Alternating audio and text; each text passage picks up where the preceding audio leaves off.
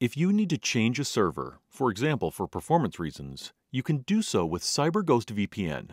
Very fast and at any time, even when connected to the free service.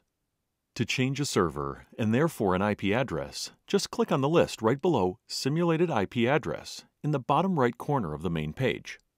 The list of all available servers will be updated immediately. The column Users Online shows you how many users are accessing a certain server at the very moment. Choose a less frequented server by marking the respective line with your mouse and click on OK. Please note that depending on your subscription, not all servers might be available. Small yellow stars mark servers not included in your current plan.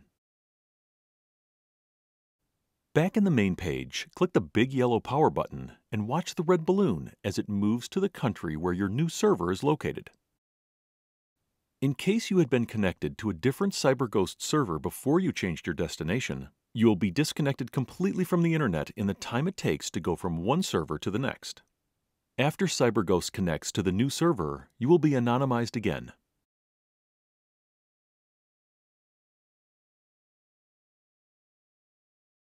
Please note that the displayed simulated IP address has changed, along with the displayed simulated country.